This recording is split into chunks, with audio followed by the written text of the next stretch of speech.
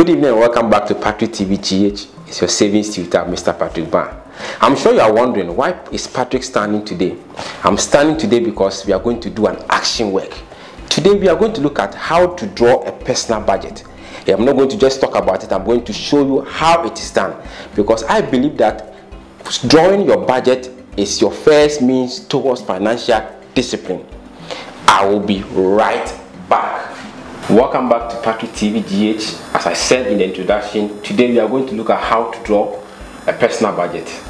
I have my board here which suggests that it's going to be an action work.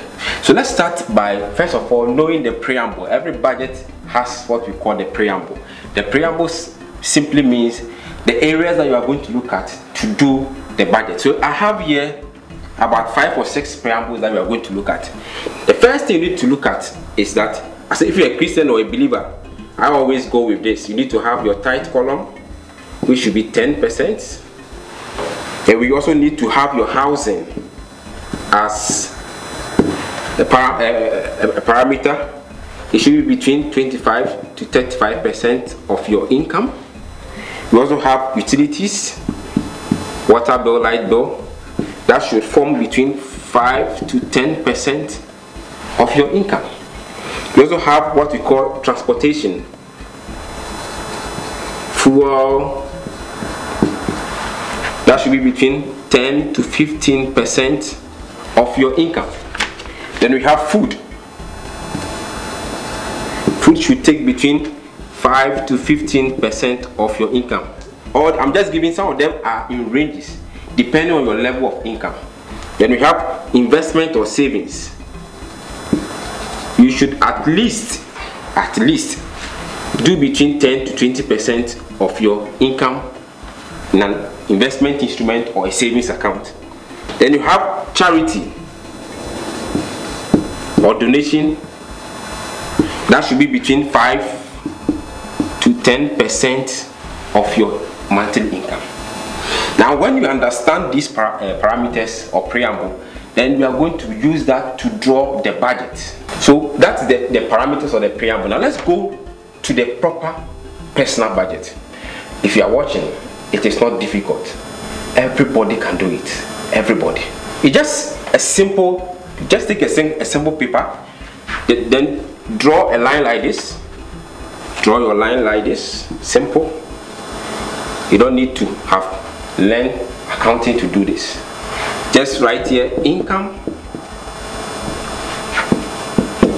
expenditure. Okay so if you are single just write your income. So let's say salary assuming your salary is thousand cedis assuming you're also married you have a wife or husband so you can write your spouse you also have let's say thousand. Then maybe you have a little business that you are doing, little buying and selling. You write here other income.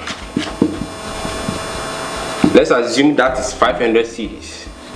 So this part is giving you 2,500 cedis. You have done with your income part. Now this is where you go to the expenses, the crucial part. So assuming once again, you're a Christian and you believe in tithe. We all know tithe is 10%. So let's say your tithe here is 10%, which is 250 cedis out of the 2,500.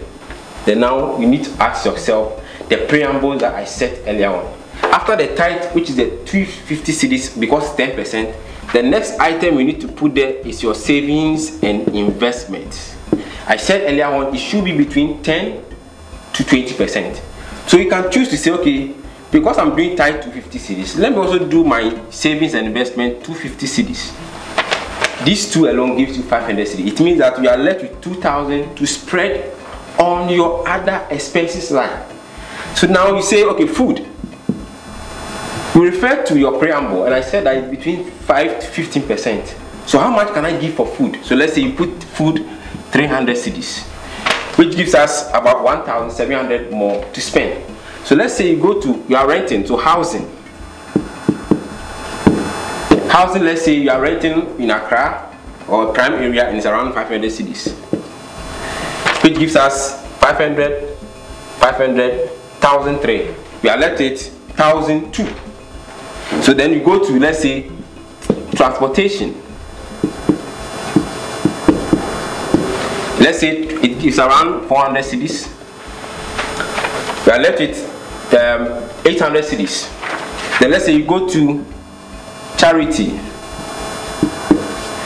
Let's say 200 you have an insurance package that you are having.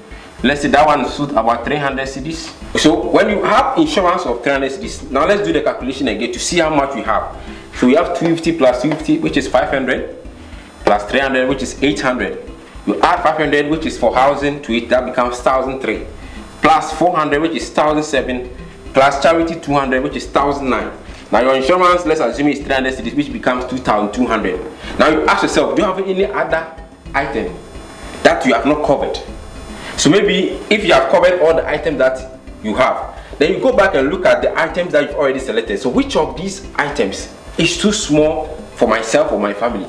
So assuming food you realize that the 300 cedis you put there is too small. You change it to let's say 500 which means that you are left with just 100 cedis to spread on this. So you can say that okay let's say i want to invest the 100 cedis left over into my savings and investment. So that becomes 350 why are we doing this adjustment?